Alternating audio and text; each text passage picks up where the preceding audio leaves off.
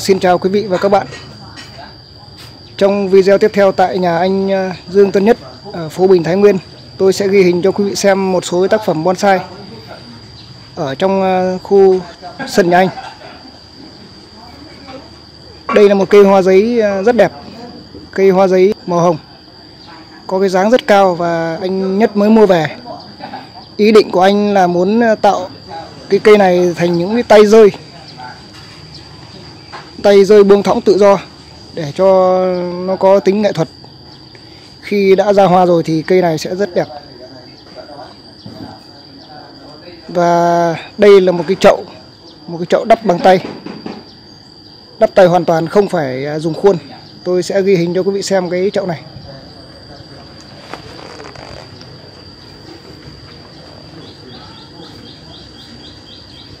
Một chiếc chậu xi măng như anh ờ, Nhất vừa giới thiệu là có cốt thép. Bên dưới đây là một cái kệ rời với chậu. Một cái đôn.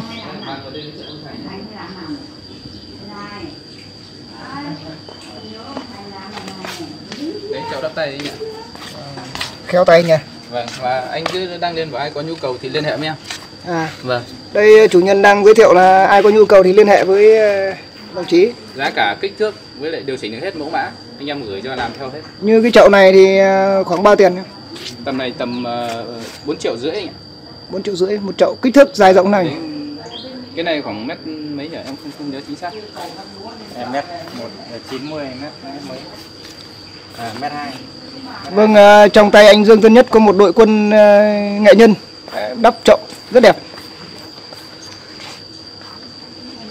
quý vị ờ, nếu có nhu cầu hãy liên hệ với anh Dương Tân Nhất Lấy nhiều giá rẻ.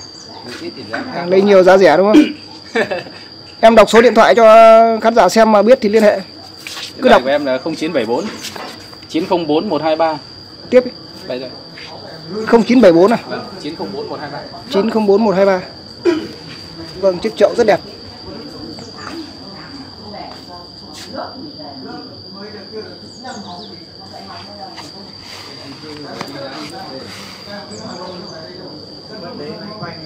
một chiếc chậu ờ, đắp tay hoàn toàn.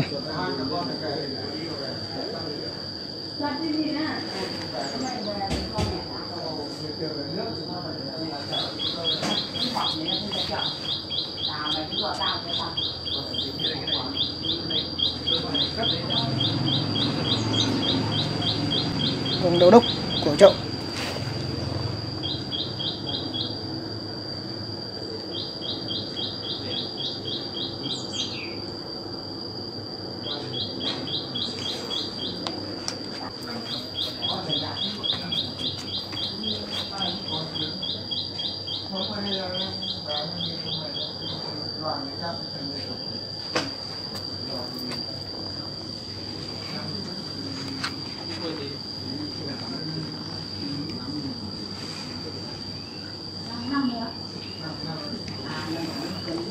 Rất đẹp.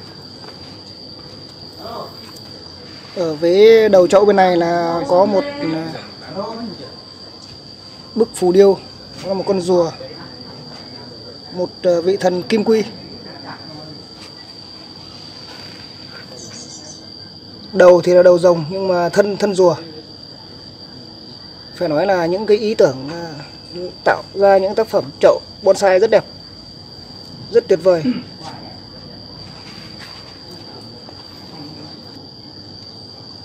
Vâng, ở phía bên kia thì là một con rồng, còn bên này là hai con phượng đang múa.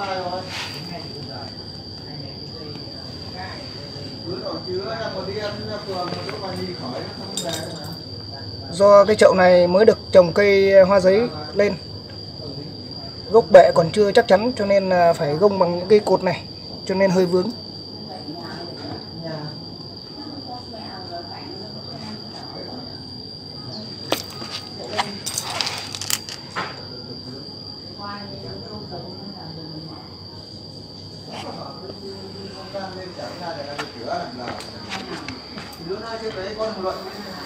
Vâng, đây là tổng thể không gian bonsai của anh. Tôi sẽ ghi hình vế bên ngoài này. Quý vị nhìn cây cao kia có một cái ờ, bụi lan bám dọc cây leo cao và hoa ra rất đẹp. Lan phượng. Lan phượng à? Lan phượng. Mà đúng cháy thật. Vâng, chủ nhân vừa giới thiệu ờ, cây đây là cây lan phượng. Cháy hết lá rồi nhưng mà hoa vẫn cứ nhiều. Ngược sáng.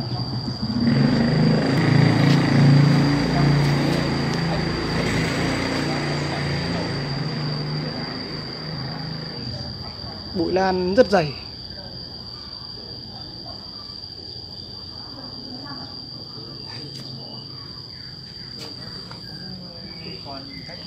Lan rất lớn.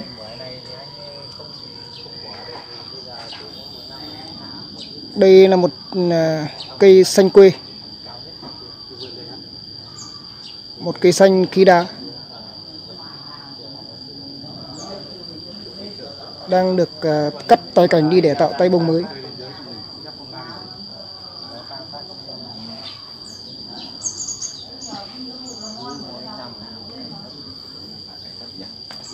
Đây là khu vực những cây à, phôi đang tạo tác.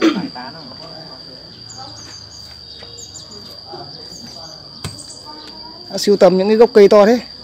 Giới thiệu một tí em ơi. Dạ. Cây này là em mua ở dưới ờ, Ninh Bình. Của xong ông anh đấy anh mua của một ông cụ ở trong Thanh Hóa. À, Vâng. qua mấy chủ đúng không? Qua mấy chủ thì xong em về em xử lý vừa rồi em cắt lại làm cây nó lùn xuống làm dáng khác. À, đây à. Trước cây nó có to cao. Có thể chú chia sẻ một chút về cái ý tưởng tạo một cái dáng mới được không? Vâng. Cái này em chuyển thành thành dáng lão em xin phép đi qua. Đây, em chuyển dáng lão sau sau là mình nuôi đây là tay một tay hai mình sẽ bay hoành ra đây À, to xong mình lấy cái ngọn hồi về à, đấy thì sẽ được một cây dáng lão cái ý tưởng ph- ờ, cái phông cây thì bắt đầu mình mới cắt tỉa tạo ra. năm năm đèn xịn luôn chân bẹ tròn vo nó ra và phóng Nhìn quanh cái, cái chỗ này nhìn ra thích lắm. Chảy xệ nha. Vâng, chảy. Đây, già méo mó sẽ hết rồi. Đang được tạo. hy sinh Tác. ờ, tại vì mình còn trẻ Trước mua cái phôi cái cây này là bao nhiêu tiền? cái này là em mua 30 triệu cái phôi này cái đây từ mấy năm rồi Trước là mua cây hoàn thiện 30 triệu đúng không? không không nó cũng là phôi thôi nhưng mà nó cao À, vâng Hồi chú em- em cũng chịu mới- đầu tư nhỉ? hồi đấy em mới cưới vợ xong, ờ, tiền ờ, mừng đám cưới em giấu đi ít thì xong em giấu vợ đi mua trộm cây này À đây. tiền mừng đám cưới giấu đi để để đi mua cây. Đây là bệnh của những anh em ham Đấy. chơi ham chơi. tiền Vâng. vì đưa đủ hết rồi nhưng mà sao vẫn thiếu Tôi sẽ chụp lại hình cái cây ờ, mà chủ nhân vừa chia sẻ đó là cái cây giấu tiền ờ, cưới vợ để mua.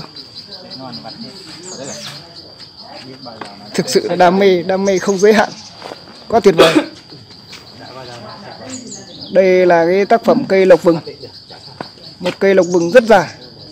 Cái phần à, da đã đóng vảy.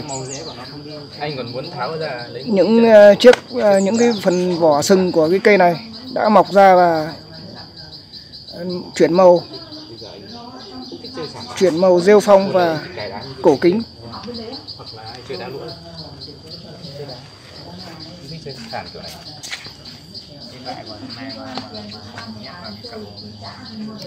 Đây, theo quan điểm cá nhân tôi thì cây này nên sửa một chút nữa về những cái tay bên trên này. Nhưng mà cái cây có cái phần thân bệ rất tuyệt vời.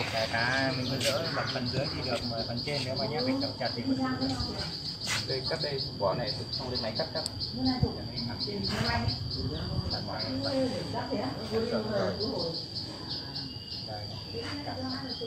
nếu mà cắt hết trên thì sẽ rời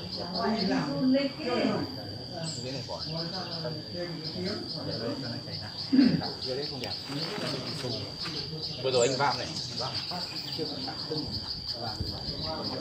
Vâng, à, đây là một cái cây xanh à, Nam Điền được trồng trên một chiếc chậu đồng nai cổ. Cây à, thì rất già, có cái phông cây luồn lực và ô cục tự nhiên. cái này là cháu của dấu thời gian này Cháu có dấu thời gian này. bóng nhìn xa bóng rất đẹp Bóng rất giống đúng không? rất giống là đấy em bảo với chú cường và cháu xin phép đấy học theo tại vì suốt ngày ngắm cây đấy nên làm theo kiểu đấy à đây à mê cái cây dấu ấn thời gian quá nên ra là cũng phải tạo một cái cây na ná giống. ngồi trên yên xa nhìn bóng đẹp đây là những cái u cục. Nó cây này hoàn thiện hết rồi vừa rồi em đặt lại cho thấp xuống. Giật lại cho nó béo cây. Vâng u cục rất đẹp. Thành nhỏ nhỏ này thế. Ở đây là trồng từ đời đầu rất là vườn. Như là béo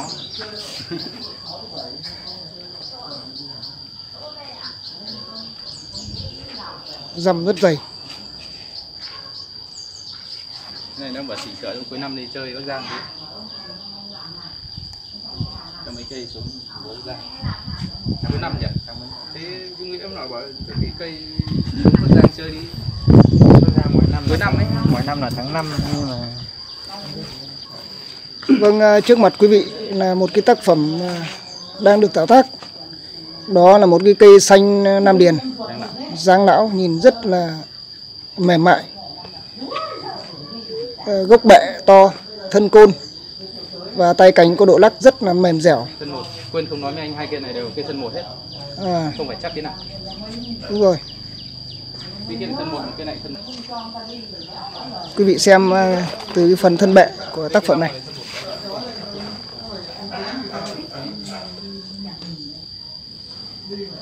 Luôn cho lớp mình đi Lại Tuấn cứ khắc đéo cứ đâu chưa có sức chơi nhiều lắm chơi như này. Không có đủ sức chăm nữa này mà hoàn thiện này đã mất nhiều công lắm rồi nhiều công hết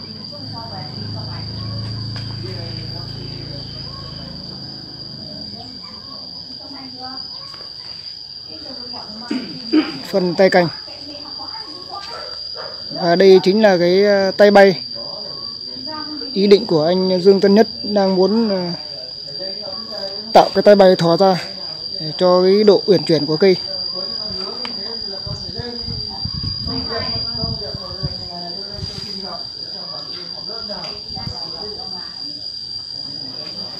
Vâng, ờ, ở bên vế ngoài vườn này tôi đã thấy một cái ờ, cây xanh điền, một cây điền xịn, da rất vàng, thân lùn lực, dáng siêu, nghiêng, có hai cái tay à, hồi, tay hồi bay rất đẹp, đang được nuôi để tạo tay bông. Mai nào năm nay bỏ học lớp nhưng mà những Tuấn nó bỏ thêm năm nay học quá thôi Lớp nào ngọt bỏ quá chứ quá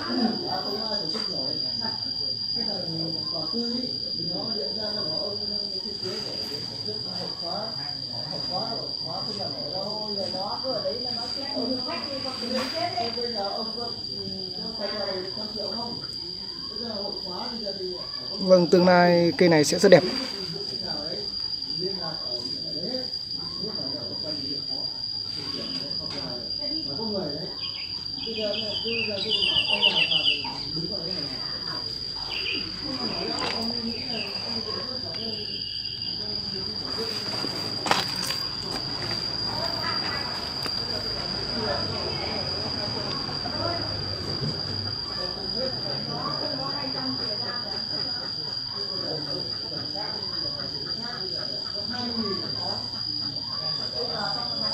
Và đây cũng là những cây phôi rất đẹp.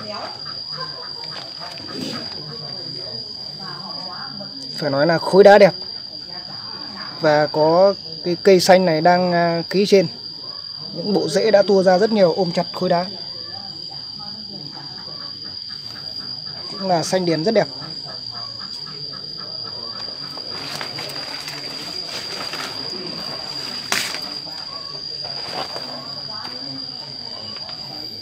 Vâng, à, đây là một cái à, gốc phôi nam điền cực đẹp.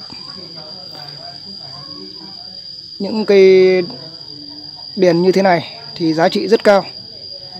Bởi vì dòng à, điền này có da vàng tự nhiên từ gốc đến ngọn. Cái lá thì ngắn, không xoăn nhiều và lá rất dày đen. Răm tương đối dày. Quý vị xem cái phần da của cái dòng điền này rất là mịn.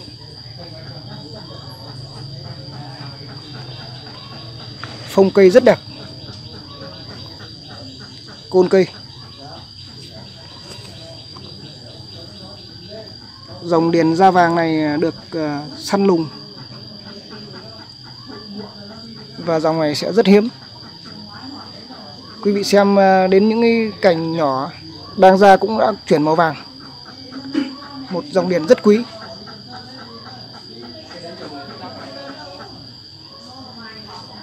Những cây xanh phôi tuyệt vời. Những cây như thế này mất khoảng 2-3 năm à, tạo tác, tay bung, thì sẽ cho ra một cái tác phẩm. Một tác phẩm rất giá trị.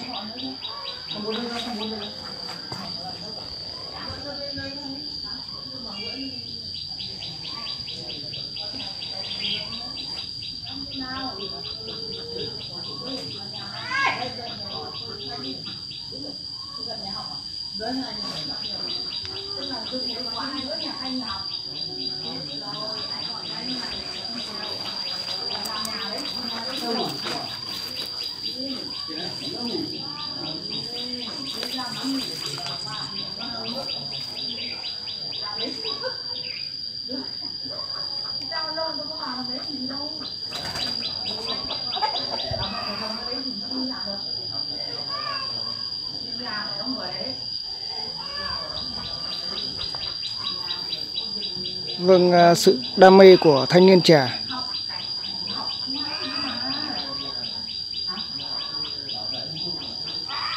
Trong không gian yên bình của làng quê, không gian nhà cổ lại có cây xanh, cây cảnh bonsai tạo nên những cái cảm hứng cho những con người sống ở đây và cảm hứng cho cả người quay phim như tôi. anh anh còn dàn không lan đằng sau anh nếu anh có muốn quay thêm Vâng, anh, à, anh Nhất vừa giới thiệu. Anh có một dàn phong lan treo ở đây. Có anh. Cho thêm tí màu sắc đúng không? vâng. Thêm tí màu sắc nghệ thuật. Có vài bông hoa đây. Còn cái kia đang chuẩn bị ra hoa rất nhiều. Hoa đẹp nhỉ. vâng. Chú nhiều đam mê thế, sóc anh ạ. Đây là phi điệp còn trẻ tuổi mà nhiều đam mê thế. đây cái giỏ này ra tết đẹp lắm gọi là tai châu này À, giỏ tai châu tai châu đắt đúng không? vâng là nó cũng đắt này tại vì nó ra hoa đúng dịp tết mà có mùi hương mùi hương rất thơm Ở trên ờ, trên trên ờ, huyện ờ, gì nhỉ?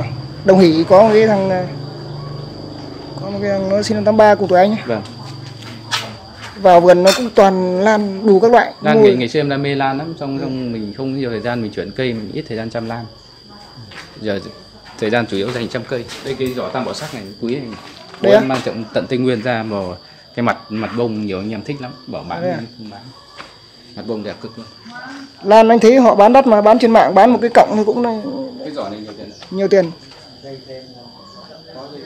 mà bị xiên mất nhiều chứ Đây những cái ờ, chùm hoa đang ờ, chuẩn bị. này em toàn ghép lũa thôi ghép lũa thì mãi mãi không phải thay giá thể Vâng, ờ, tôi xin dừng video clip tại đây. Quý vị hãy nhấn nút đăng ký để ủng hộ kênh và bình luận bên dưới video để chúng ta cùng thảo luận và học hỏi lẫn nhau. Xin chân thành cảm ơn. Quý vị và các bạn đừng quên đăng ký kênh và bình luận bên dưới video nhé.